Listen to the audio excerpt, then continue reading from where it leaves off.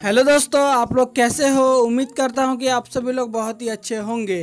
तो दोस्तों, आज की इस वीडियो में आप सभी को हम बताने वाला हूँ Redmi K20 Pro डिवाइस को लेकर, क्योंकि मेरे सब्सक्राइबर और मेरे व्यूअर्स मुझसे ये सवाल पूछ रहे थे क्या इस डिवाइस को अपडेट देखने को मिलेगा या नहीं? और साउमी की तरफ़ से इसी डिवाइस के लिए आया है बहुत ही अच्छा गुड न्यूज़ तो वो गुड न्यूज़ भी आज की वीडियो में बताने वाला हूँ। तो दोस्तों वीडियो को स्टार्ट करने से पहले आप सभी को बता देना चाहता है कि अगर आप हमारे चैनल पर नहीं हो और अभी तक अपने हमारे चैनल को सब्सक्राइब नहीं किया है तो प्लीज़ जाके हमारे चैनल को सब्सक्राइब कर लें और बेल आइकन को प्रेस करना ना भूलें, जिससे हर वीडियो का नोटिफिकेशन सबसे पहले देखने को मिलती रही।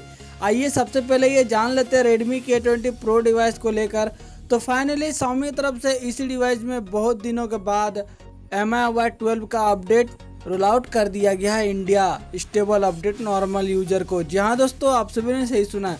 बहुत दिनों के बाद ये अपडेट रोल आउट किया गया, क्योंकि जब से एम आई वाई ट्वेल्व आया तब से हम सुनते आ रहे हैं कि आज रेडमी के ट्वेंटी प्रो को यहाँ पर स्टेबल अपडेट रोल आउट किया है। कभी अलग कंट्री में, कोई और कंट्री में, रोज़ मतलब कोई अलग अलग कंट्री में अपडेट देखने को मिल रहा था। पर फाइनली आज हमारी इंडिया में ये अपडेट सभी यूज़र को देखने को मिल चुका है।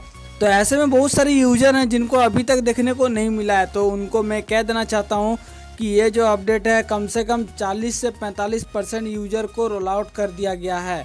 तो दोस्तों, अगर आप इस अपडेट को सही टाइम में अगर देखे नहीं होंगे तो हो सकता है सामी की तरफ़ से इस अपडेट को रोल बैक कर लिया गया हो। फिर आप लोग उस अपडेट को देखे होंगे तो आपको ये अपडेट देखने को नहीं मिला होगा। तो फिर आप सभी को पब्लिकली रोल आउट होने का फिर से वेट करना होगा। यानी कि कम से कम 10 से 15 दिन और वेट करना पड़ सकता है।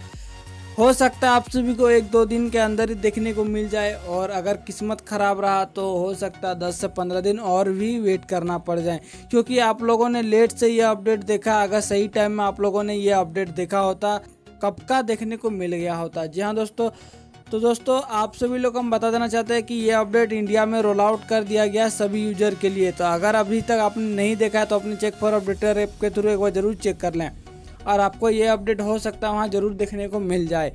तो दोस्तों, आप सभी को ये छोटा सा इन्फॉर्मेशन कैसा लगा है? अगर वीडियो पसंद आया है तो मेरे वीडियो को लाइक कमेंट और शेयर कर देना। आज के लिए बस इतना ही, हम मिलते हैं नेक्स्ट वीडियो में। जय हिंद बंदे मातरम।